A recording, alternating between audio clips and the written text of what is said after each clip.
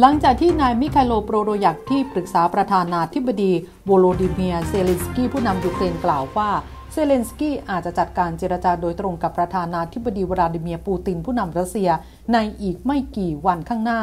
นายโปโดลยักระบุว่าทางการยูเครน มีความหวังสูงว่าจะมีการบรรลุข้อตกลงหยุดยิงในอนาคต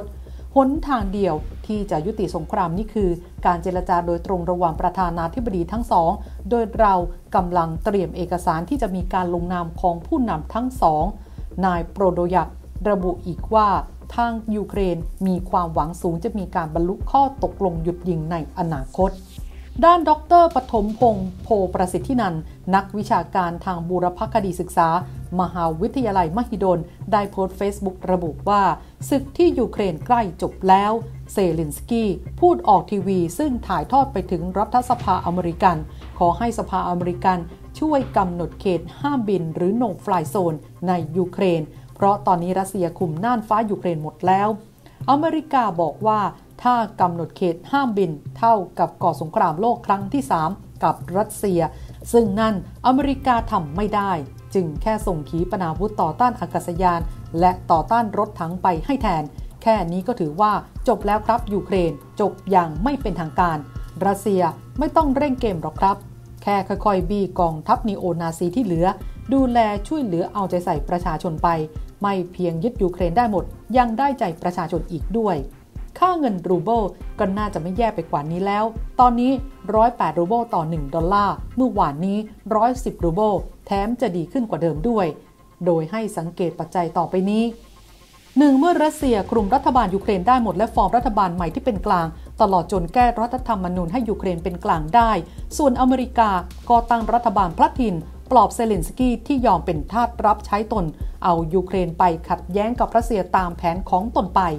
2. รัสเซียปรับตัวหรือวางระบบการเงินของตนเข้ากับระบบการเงินจีนได้เสร็จสมบูรณ์ ลูกค้าที่สั่งซื้อน้ำมันก๊าซข้าวสาลี และพืชพันธุ์เกษตรอินทรีย์อื่น ๆ สามารถโอนเงินให้รัสเซียผ่านระบบใหม่ได้สะดวก ค่าเงินรูเบิลน่าจะดีขึ้นอีกหน่อย เพราะความเชื่อมั่นในรัสเซียเพิ่มขึ้น และความเชื่อถือในดอลลาร์ต่ำลงกว่าเดิม เพราะบทบาทได้ลดลงแล้วนั่นเอง ขณะที่เพจ World Marker ได้ระบุเช่นกันว่า เจรจาคืบหน้าอีก ล่าสุดหัวหน้าผู้แทนของยูเครนกล่าวว่าการเจรจาระหว่างเซเลนสกี้ปูติน และการประกาศหยุดยิงอาจเกิดขึ้นในอีกไม่กี่วันข้างหน้านี้ ขณะที่บลูมเบิร์กรายงานว่า รัสเซียอาจยอมให้ยูเครนมีกองทัพเป็นของตัวเองได้ แต่ไม่เข้าร่วมนาโตและต้องไม่มีนิวเคลียร์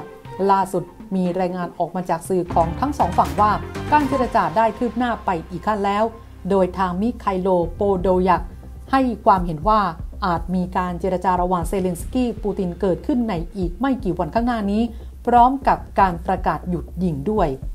ทางเลือกเดียวที่จะยุติสงครามนี้คือการเจรจาโดยตรงระหว่างประธานาธิบดีทั้งสอง และนั่นคือสิ่งที่เรากำลังดำเนินการเจรจาสันติภาพ เรากำลังดำเนินการเกี่ยวกับเอกสารที่ประธานาธิบดี จะสามารถหาหรือเพิ่มเติมและลงนามได้ สิ่งนี้จะเกิดขึ้นในไม่ช้า เพราะนี่เป็นวิธีเดียวที่จะยุติสงครามนี้ เรามีความมั่นใจมากว่า เราจะมีการหยุดยิงในอีกไม่กี่วันข้างหน้า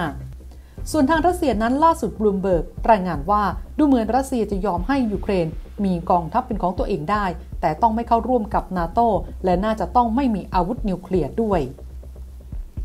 สิ่งที่ยูเครนย้ำล่าสุดคือ จะต้องมีการรับประกันความปลอดภัยของยูเครนอย่างดีเยี่ยมจากทุกทุกฝ่าย ซึ่งคาดว่าจะมีการเปิดเผยอัปเดตตามมาไม่นานหลังจากนี้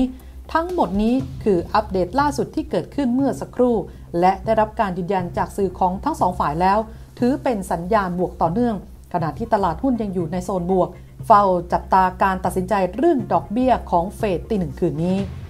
ทั้งนี้ World Marker ยังระบุอีกว่า กูรูตะวันตกงง ค่าเงินรูเบิลแข่งค่าขึ้นกลับมาได้อย่างไรกัน ล่าสุดกลับมาอยู่ที่ 95 รูเบิลต่อดอลลาร์แล้ว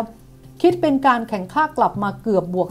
40%แม้ว่าก่อนหน้านี้กูรูตะวันตกต่างพูดเป็นเสียงเดียวกันว่า เงินรูเบิลกำลังจะล่มสลาย และถ้ารูเบิลยังแข่งค่าไปเรื่อยๆ จนกลับไปถึงระดับ 70 ได้นั้นหมายความว่า สกุลเงินของรัสเซียไม่ได้สูญเสียมูลค่าอะไรไปจากมาตรการคว่ำบาตรอีกแล้ว ล่าสุดเงินรูเบิลของรัสเซียเทียบกับดอลลาร์ในตลาดโลก ได้แข็งตัวขึ้นมาอยู่ ที่ 95 รูเบิลต่อดอลลาร์อีกครั้ง หลังจากที่ก่อนหน้านี้พุ่งไปถึง 155 รูเบิลต่อดอลลาร์ หรือคิดเป็นการแข็งค่ากลับมาราวบวก 40%แล้ว ทางฝั่งกูรูตะวันตกหลายคนเริ่มงง หลังจากก่อนหน้านี้พูดเป็นเสียงเดียวกันว่า เงินรูเบิลของรัสเซียกำลังจะล่มสลาย แล้วทำไมยังแข็งค่ากลับมาได้จนแทบเหมือนกับว่าไม่มีอะไรเกิดขึ้นเลยทั้งทั้งที่โดนคว่ำบาตรไปซะขนาดนั้น หรือนี่จะเป็นเพียงกับดักเท่านั้น เพื่อหลอกให้กูรูฝั่งตะวันออกคิดว่ารูเบิลจะชนะ แต่จริงๆ แล้วรูเบิลกำลังจะล่มสลายลงหลังจากนี้ต่างหาก ที่กำลังจะเป็นของจริงตามมา ครั้งแรกแค่ให้เหยื่อมันตายใจก่อนเท่านั้น หรือนี่จะเป็นสัญญาณที่ชัดเจน อย่างที่ปูตินได้ลั่นเอาไว้ว่า สิ้นสุดยุคสมัยที่ชาติตะวันตกจะครอบงำเศรษฐกิจและการเมืองโลกแล้วกันแน่